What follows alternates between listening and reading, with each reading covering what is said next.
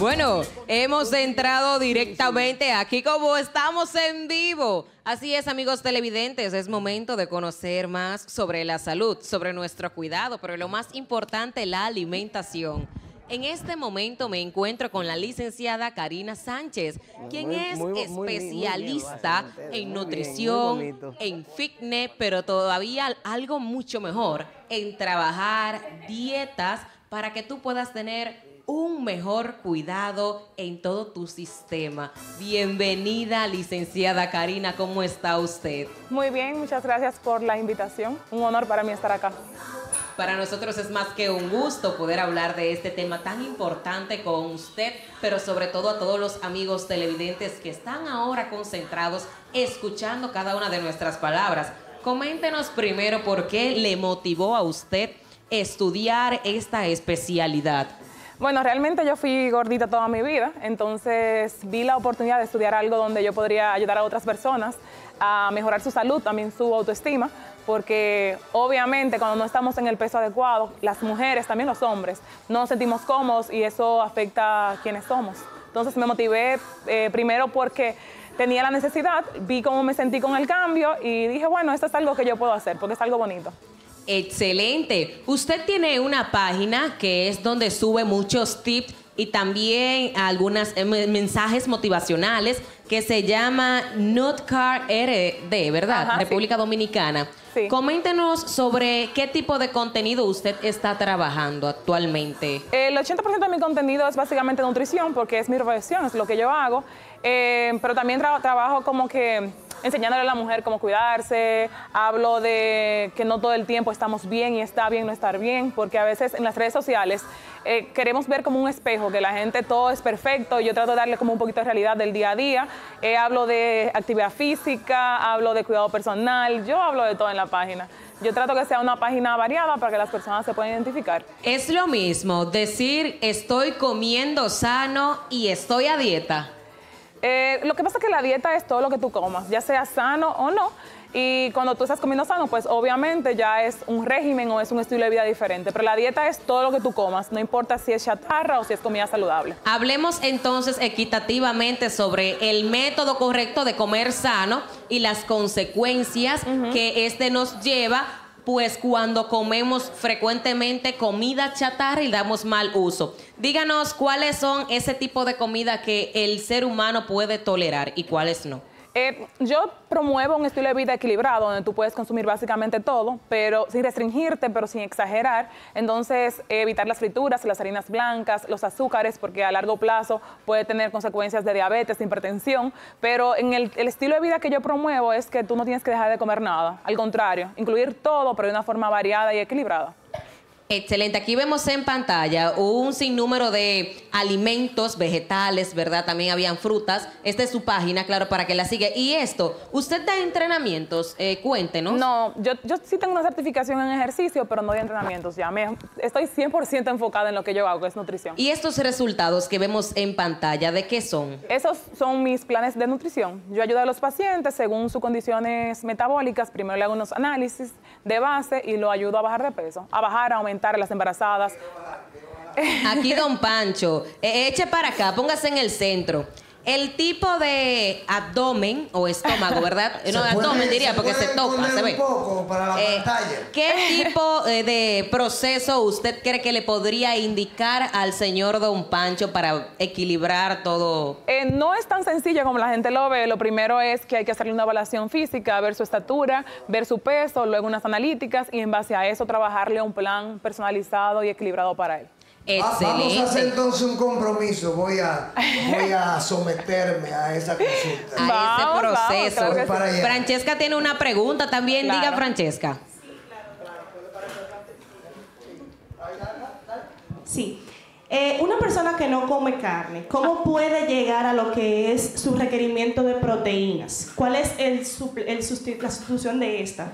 Hay muchas proteínas que no son eh, animales, están las vegetales. De hecho, yo veo muchos pacientes vegetarianos o veganos y se le hace lo que se le hace es un cálculo. Tratamos de incluir más eh, lentejas, más habichuelas, buscamos proteínas alternativas. Hay otros pacientes que necesitan suplementación. Por ejemplo, estos pacientes, esas personas que son veganas estrictas, se le puede poner una proteína que sea eh, vegetariana, que sea vegana, y con eso llegamos a los requerimientos proteicos. Lo que sí hay que ver es que no tenga deficiencia a nivel de B12 y de hierro, y se puede trabajar sin ninguna complicación. Bien, gracias, doctora. No Come- sé, no sé si fui muy técnica. porque No, no, no, se explicó, o sea, se entendió muy bien.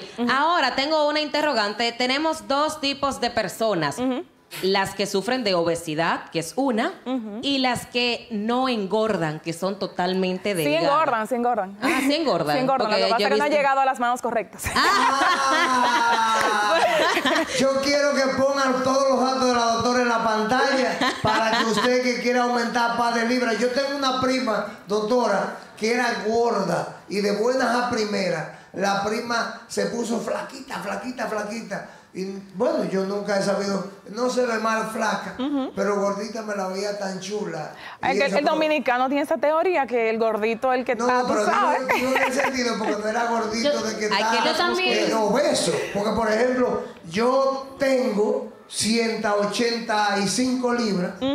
Si no, como no me he desayunado, pesado y desayuné con lechosa, quizás Ah. hubiese sido un poco más. Entonces, 185 libras para mi tamaño, quizás no es mucho. Lo que hay es que saberla distribuir. Exacto, eh, que sea menos grasa, más masa muscular. ¿Cuál sería el peso ideal para el hombre? Ahora que Ay, no, pero es que eso, es- eso no es tan sencillo así. No es tan sencillo, puede pesar hasta 200 y no hay lo que aparenta. verlo, porque hay que ver la composición corporal. Cuando yo pongo el paciente en mi equipo, entonces yo veo cuánto de grasa tiene, cuánto de músculo, y le puedo decir, bueno, este es el intervalo que hay que bajar. Pero no di que la gente cree eso, me escriben por Instagram. eh, tengo tal edad, ¿cuánto- ¿qué debo comer? No es tan sencillo, No es tan todo lleva un sencillo. proceso Una de evaluación. evaluación.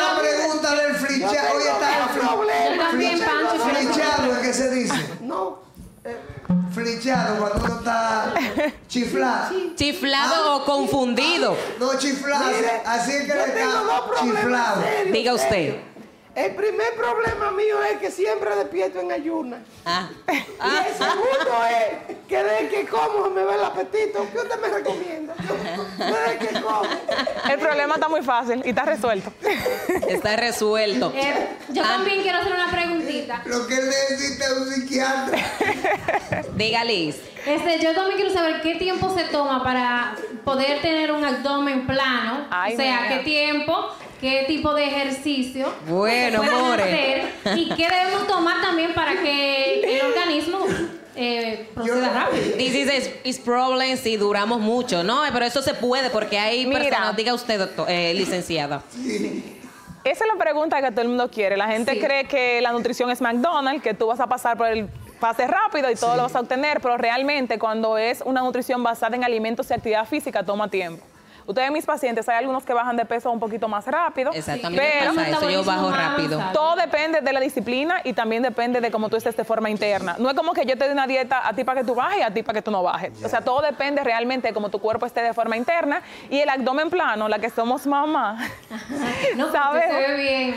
Eh, porque he trabajado mucho mi Yo cuerpo, tú sabes. sentada, tiene que pararse a Párese, párese también. se- No, ya, que- no- ya ando con ropa ancha, pero... Pero se ve, o sea, tiene, eh, se mantiene, una cosa y además le voy a De decir pie algo, es otra, muy algo. hermosa. Hágame un close a la doctora para decirle algo también. Porque una cosa también es verse bien por delante, pero por detrás uno no sabe. Ay, Dios mío. Bueno, doctora. mientras la doctora da Vamos su vueltecita, de su vueltecita para verla de, de pies a cabeza, Y al aquí paso. lo- aquí Un cuerpo Miren. totalmente fit. Quiero que Aquí Trabajado. hombres que sepan silbar. Ah, o piteará. bueno, ahora que aprovechamos que la doctora ya se ha puesto de pie, antes de culminar esta entrevista, quiero que ustedes eh, observen nueva vez el pelo o el cabello de la licenciada Ay, que no me lo lave. Porque miren qué pasa. Cuando cuidamos nuestra forma de alimentación, lo que es nuestra piel, nuestro cuerpo y nuestro cuero cabelludo cambian. Sí. Se ve hidratado todo. Por ejemplo, ahora quiero que usted nos diga qué resultado o qué podríamos comer para poder tener acelerado un poquito más nuestro metabolismo Por ejemplo, una fruta que te ayude a poder digerir y a Mira. ir bien al baño, algo que te haga eh, poner, eh, eliminar para que tu rostro pues no tenga tanto acné y así sucesivamente. Diga usted.